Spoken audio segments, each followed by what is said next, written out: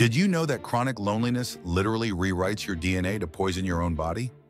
Scientists discovered that just weeks of social isolation triggers a deadly genetic switch. Your body starts activating inflammatory genes while shutting down immune protection genes. It's like your cells begin attacking themselves from the inside out. The damage happens fast. Your telomeres shrink, making you age rapidly at a molecular level. Your cortisol receptors become hypersensitive, flooding your system with stress hormones. Even your DNA repair proteins stop working properly.